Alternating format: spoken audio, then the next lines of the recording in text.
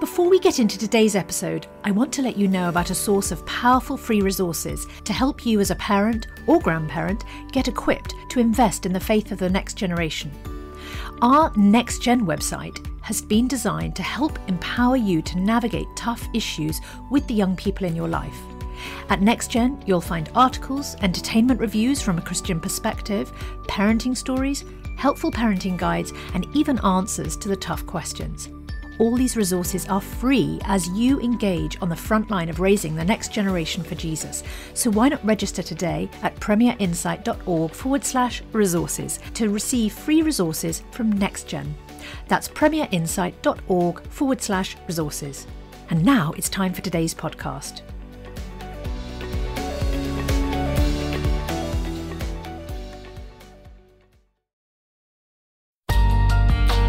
The Bible in a Year, bringing the Word to life.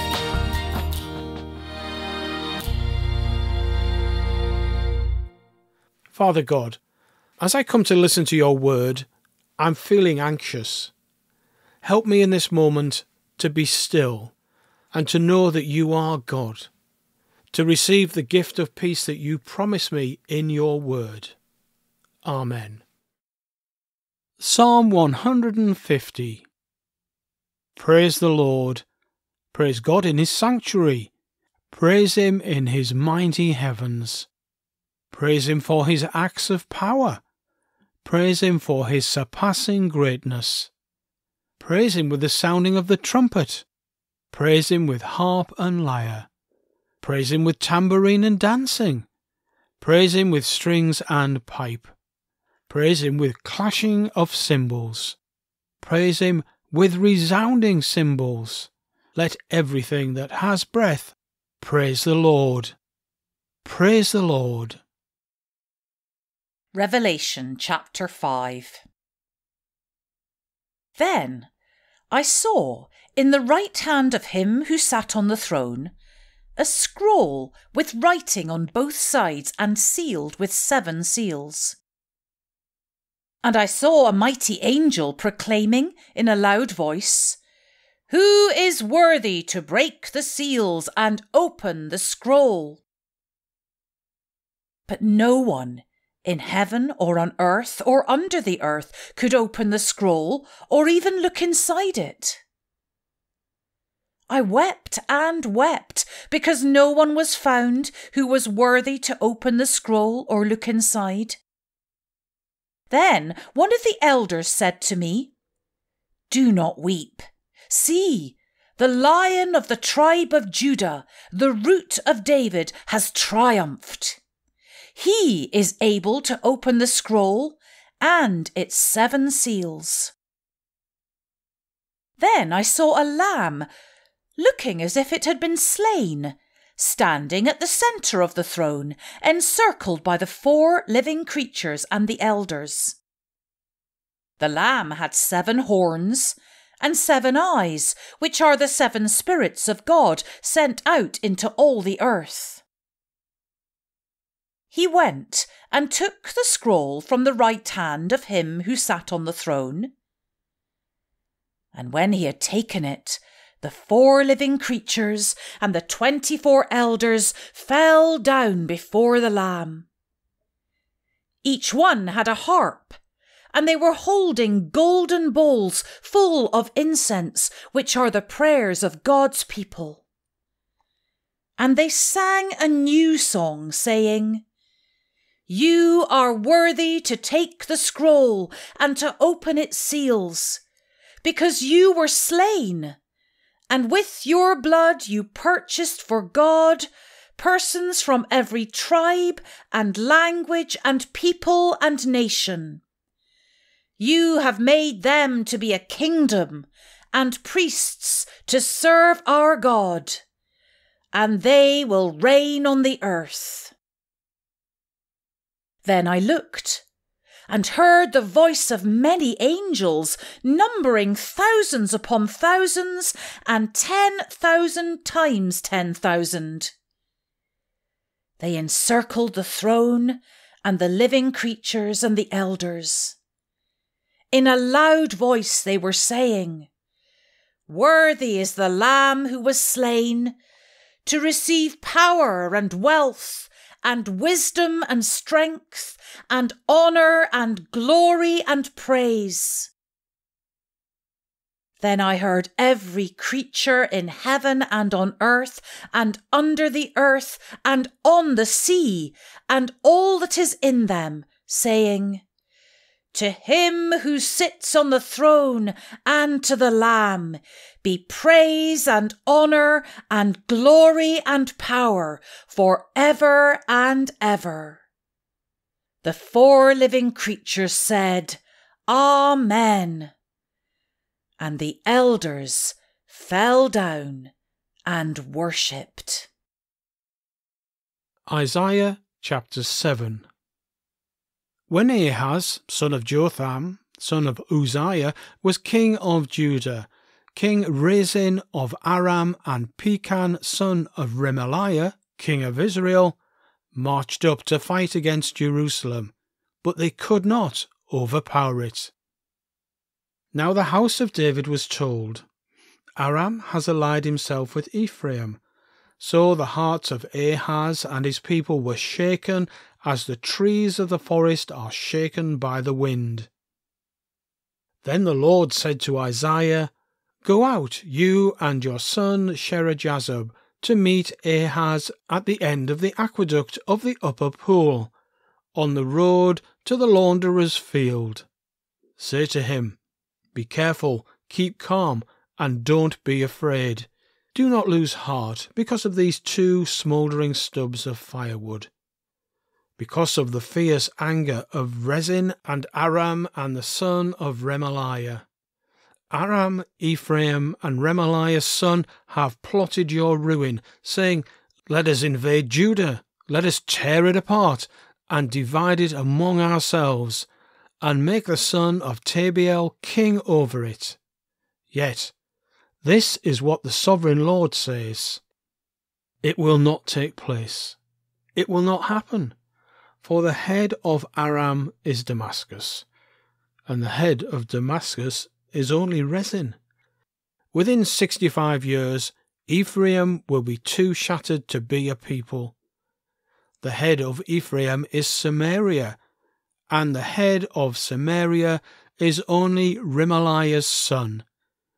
If you do not stand firm in your faith, you will not stand at all. Again the Lord spoke to Ahaz Ask the Lord your God for a sign, whether in the deepest depths or in the highest heights. But Ahaz said, I will not ask. I will not put the Lord to the test. Then Isaiah said, Hear now, you house of David, is it not enough to try the patience of humans? Will you try the patience of my God also? Therefore, the Lord himself will give you a sign. The virgin will conceive and give birth to a son, and will call him Emmanuel he will be eating curds and honey when he knows enough to reject the wrong and choose the right. For before the boy knows enough to reject the wrong and choose the right, the land of the two kings you dread will be laid waste. The Lord will bring on you and on your people and on the house of your father a time unlike any since Ephraim broke away from Judah. He will bring the king of Assyria. In that day the Lord will whistle for flies from the Nile delta in Egypt and for bees from the land of Assyria. They will all come and settle in the steep ravines and in the crevices in the rocks, on all the thorn bushes and at all the water holes. In that day the Lord will use a razor hired from beyond the river Euphrates, the king of Assyria, to shave your heads and private parts, and to cut off your beards also. In that day, a person will keep alive a young cow and two goats. And because of the abundance of the milk they give, there will be curds to eat. all who remain in the land will eat curds and honey. In that day, in every place where there were a thousand vines worth a thousand silver shekels, there will be only briars and thorns. Hunters will go there with bow and arrow, for the land will be covered with briars and thorns. As for all the hills once cultivated by the hoe, you will no longer go there for fear of the briars and thorns. They will become places where cattle are turned loose and where sheep run. Isaiah chapter 8 The Lord said to me, Take a large scroll and write on it with an ordinary pen, Meha Hashbaz. So I called in Uriah the priest and Zechariah, son of Jeberekiah, as reliable witnesses for me. Then I made love to the prophetess, and she conceived and gave birth to a son. And the Lord said to me, Name him Maher-Shalal-Hash-Baz, for before the boy knows how to say, My father or my mother, the wealth of Damascus and the plunder of Samaria will be carried off by the king of Assyria. The Lord spoke to me again. Because this people has rejected the gentle flowing waters of Shiloah, and rejoices over Rezin and the son of Remaliah, therefore the Lord is about to bring against them the mighty floodwaters of the Euphrates, the king of Assyria with all his pomp. It will overflow all its channels, run over all its banks, and sweep on into Judah, swirling over it, passing through it, and reaching up to the neck. Its outspread wings will cover the breadth of your land, Emmanuel. Raise the war cry, you nations, and be shattered. Listen, all you distant lands. Prepare for battle, and be shattered. Prepare for battle, and be shattered. Devise your strategy, but it will be thwarted. Propose your plan, but it will not stand, for God is with us. This is what the Lord says to me with his strong hand upon me, warning me not to follow the way of this people. Do not call conspiracy everything this people calls a conspiracy. Do not fear what they fear, and do not dread it. The Lord Almighty is the one you are to regard as holy. He is the one you are to fear. He is the one you are to dread.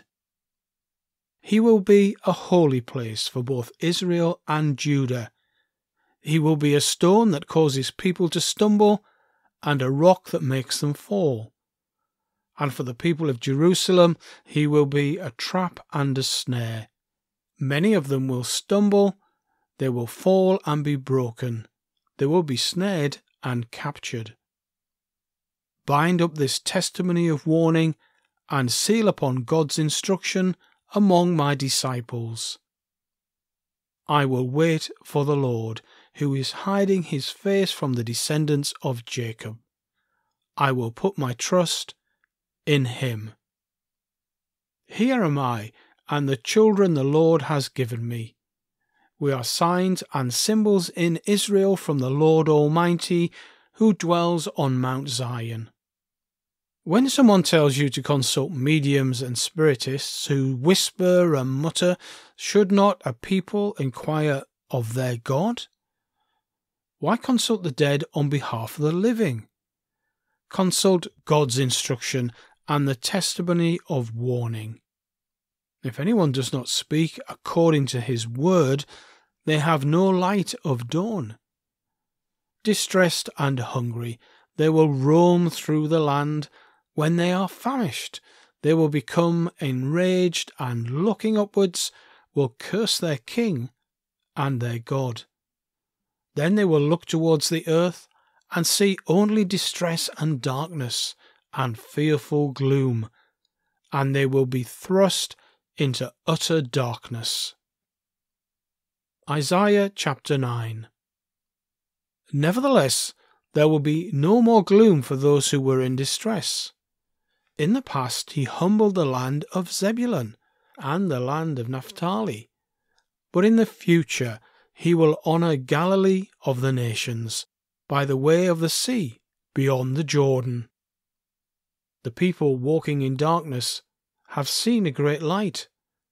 On those living in the land of deep darkness, a light has dawned. You have enlarged the nation and increased their joy. They rejoice before you as people rejoice at the harvest, as warriors rejoice when dividing the plunder. For as in the day of Midian's defeat, you have shattered the yoke that burdens them, the bar across their shoulders, the rod of their oppressor. Every warrior's boot used in battle and every garment rolled in blood will be destined for burning, will be fuel for the fire. For to us a child is born, to us a son is given, and the government will be on his shoulders. And he will be called Wonderful Counselor, Mighty God, Everlasting Father, Prince of Peace. Of the greatness of his government and peace there will be no end. He will reign on David's throne, and over his kingdom, establishing and upholding it with justice and righteousness from that time on and for ever. The zeal of the Lord Almighty will accomplish this. The Lord has sent a message against Jacob it will fall on Israel. All the people will know it. Ephraim and the inhabitants of Samaria, who say with pride and arrogance of heart, The bricks have fallen down, but we will rebuild with dressed stone. The fig trees have been felled, but we will replace them with cedars. But the Lord has strengthened Rezin's foes against them, and has spurred their enemies on. Arameans from the east and Philistines from the west have devoured Israel with open mouth. Yet, to all this, his anger is not turned away, his hand is still upraised. But the people have not returned to him who struck them, nor have they sought the Lord Almighty. So the Lord will cut off from Israel both head and tail, both palm branch and reed in a single day. The elders and dignitaries are the head. The prophets who teach lies are the tail. Those who guide this people mislead them, and those who are guided are led astray. Therefore, the Lord will take no pleasure in the young men, nor will he pity the fatherless and widows. For everyone is ungodly and wicked. Every mouth speaks folly. Yet for all this, his anger is not turned away. His hand is still upraised. Surely wickedness burns like a fire. It consumes briars and thorns. It sets the forest thickets ablaze, so that it rolls upwards in a column of smoke. By the wrath of the Lord Almighty, the land will be scorched, and the people will be fuel for the fire. They will not spare one another. On the right they will devour, but still be hungry. On the left they will eat, but not be satisfied. Each will feed on the flesh of their own offspring. Manasseh will feed on Ephraim, and Ephraim on Manasseh Together they will turn against Judah. Yet for all this, his anger is not turned away, his hand is still upraised. Father God, thank you for your word. My life is in your hands. Fill me with your Holy Spirit today, that true holiness will be evident in my life. Amen. For more resources to help you bring the word to life, go to premier.org.uk forward slash Bible. This reading has been taken from the NIV Bible Biblica and is published by Hodder and Stoughton.